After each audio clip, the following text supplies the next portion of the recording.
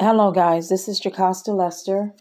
In this video, I want to talk about something that I believe is um, very important to discuss. Um, I believe that they've used a great deal of sarcasm and practical um, joking to convince people that they aren't serious about their evil pursuits when they are very serious. Something is still serious, guys. In fact, I would argue that it's safer to treat them as though they mean everything that they say. And though they laugh, they mean what they say.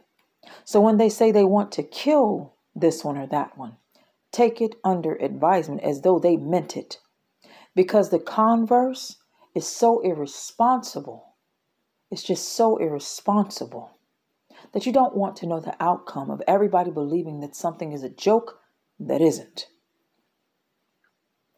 So, they put out fake news stories. What they did was flood our eyes, they flooded our ears, they flooded our minds, they flooded our airspace with lie after lie after lie, with joke after joke after joke, with satirical reference after satirical reference.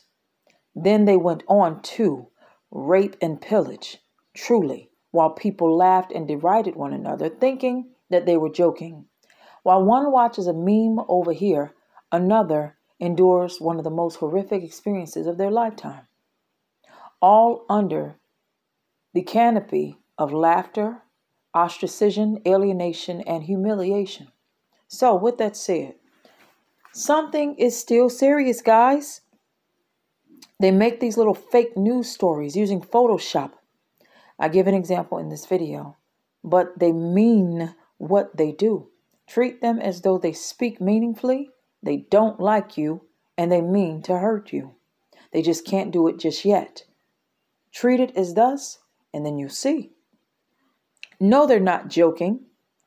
They're, they've overwhelmed the institutions that are good with evils in an effort to destroy under Satan.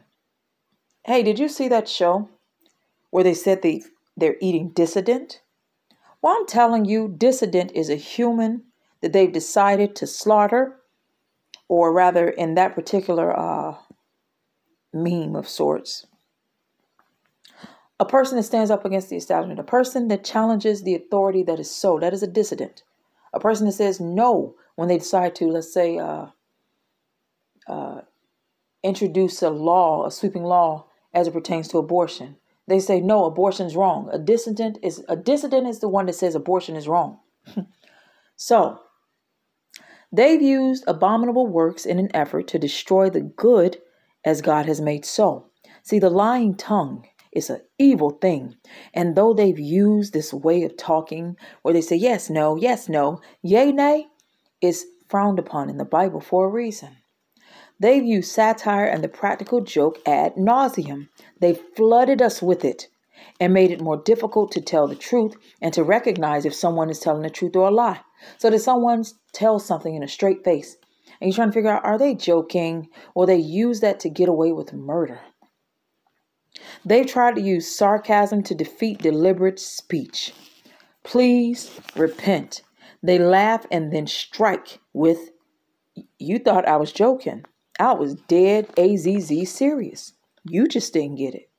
They're that cruel, they're that hateful, and I'm telling you, they're modeled after a particular type of people, particularly Beyonce and Jay Z from afar. Those two appear to me to be people that may or may not use that way. Where in front of us, they were married. No, they weren't. They were dating. No, they weren't. And then they were married. It's a similar thing. And they've done it all over society and now erected a temple to the worship of Beyonce, particularly in people's flesh.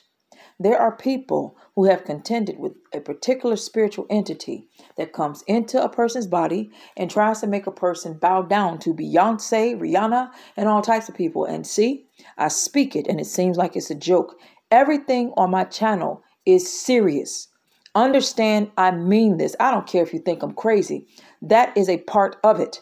The entire cabal that says don't take people seriously, I say take people seriously until they say they're joking. I'm telling you, it's safer that way to assume that people mean it. They're just struggling to tell the truth about it. Repent, for the kingdom of heaven, excuse me, repent for the kingdom of heaven is at hand. Come to Jesus. And yes, something interrupted as I spoke. Cast it out as you see fit. Blessings.